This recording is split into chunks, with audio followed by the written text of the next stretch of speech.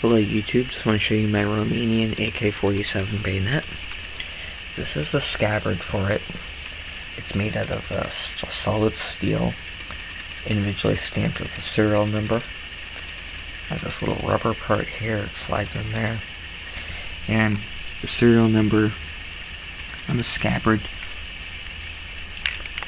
corresponds with the one on the bayonet. And the bayonet is made out of Bakelite, the handle.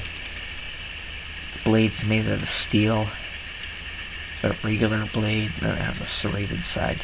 This little hole right here, it's for the wire cutter function. Goes in there like that. You can just put wire in there, and you would just turn it like this, and it would just cut the wire like that.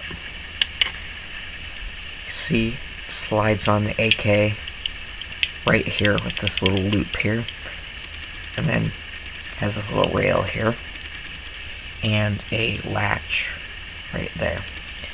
It could fit an AK-47. I could probably fit those WASR assault rifles, I imagine. And also probably the Type 56, the Chinese copies.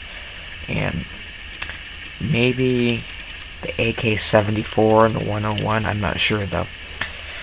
And like I said, it's a really great knife or bayonet. It has this little leather handle. I got this for a little leather strap.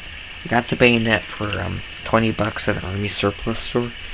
And if you want to buy your own, you can find them find them online at keepshooting.com for 20 bucks also.